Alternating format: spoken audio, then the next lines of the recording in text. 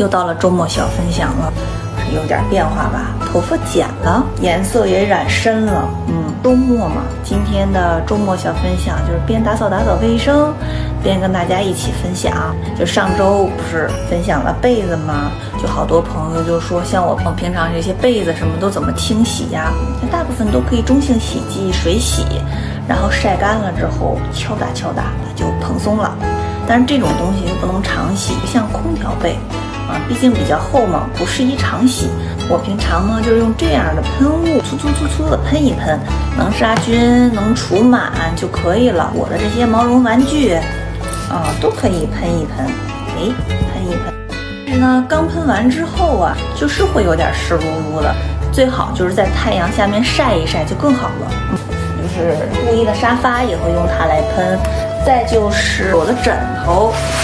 枕头呢，就是也不能经常洗，用用用这样的小喷壶，哎，喷一喷，然后再晒一晒就可以了。不过我的这个枕头是可以水洗的，特别特别的软，因为洗过，所以还是有一些小褶。这个我平常洗完了是放在那个晾衣架上晾，擀面杖啊，就这样敲，越敲越蓬松，是不是能看出来它是分区域的，两边高。中间低，这个位置呢是支撑颈椎的。每个人挑枕头的需求不一样，我的需求就是第一呢，就是它需要方便清洗，因为晚上睡觉的时候我就会抹很多的精华油、面霜，是长此以往啊，即便是隔着枕套，两边也容易发黄。我选的是可以水洗的，这个对我来说挺重要的。我觉得清洗不干净容易产生螨虫，就对皮肤不好嘛。二呢是最低的。我买枕头的时候就是全网搜最低的枕头，当时这一款是有三个高度，我选的是最低的那个高度，就是像这后脑勺的位置呢，就五公分，就这么高。脖子这儿呢有点支撑，我主要的原因就是为了防止颈纹。睡觉很长时间嘛，如果枕的高就会有这个颈纹。我还不喜欢要一个平面的枕头，因为你侧着睡和正着睡。对高度的需求不一样，同一个高度你就会歪着，这个位置也会产生颈纹，所以我就需要两边要稍高一点。就是侧睡的时候，脸贴在上面。酒店的枕头很厚很高，从来不枕。浴巾搭出一个型儿，两个吧都是为了美。我觉得因为睡眠的时间还挺长的嘛，所以枕头挺重要的。嗯，跟我有一样需求的话，就可以参考这个枕头，这个牌子 Braco。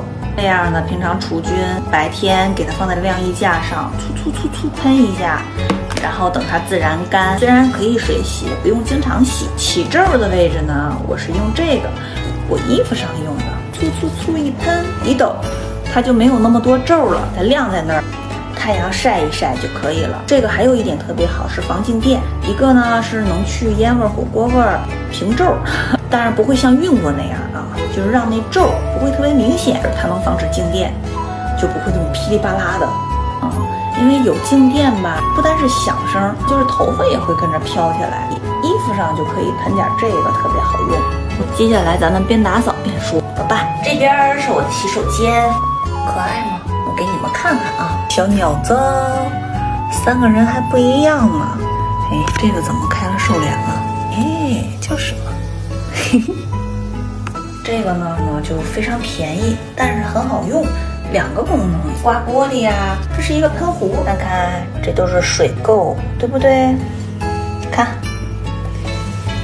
看，这都是水垢吧？之前也分享过强力的除水垢的那些喷剂，一个月使用一次就行了，是味道比较大。日常呢，这个这个，我买的就是这种食品级的柠檬酸剂。然后用热水给它兑一下就行了，特别简单。热水也不用特别热，就六十来度就可以了。的，我平常都会带着，住酒店烧水壶会倒一个，让它咕嘟咕嘟煮着，啊，可以溶解水垢。玻璃上也可以。啾啾，我之前说过。擦这种玻璃呀，镜面的用什么了吧？就这个鱼鳞抹布，看见擦完之后没有印儿，给抹布一搂就行了，也不用蹭，一刮就可以了。好了，上面没有水垢了，看看这上面的水垢也没了。没有用刷子，也没有用海绵啊，也没有用任何的强效的去污剂，就是这个柠檬酸。种水槽呢，黑的吧，看得不清楚。如果是那种白色的水槽，经常咱们用卸妆油啊，呃，卸粉底呀，上面就会有那种皮肤的油脂，那个时间长了就发黄，也洗不掉啊。用小苏打，看见没？小苏打，平常用的食用苏打都行，就放个几勺。好了，抹在上边就行了，这样搓在上边，看见没？这个都是比较放心的，是因为可以食用的嘛。让它缓一缓，剩下的这些小苏打呢，咱们还有用，给它灌到一个瓶瓶里，然后啊，兑上花露水儿。这是干嘛的呢？去那边，这个呢就是浴室，是水垢吧？还是给它用这个喷一喷。嗯，家家户户都是定期清理吧，我们家也是。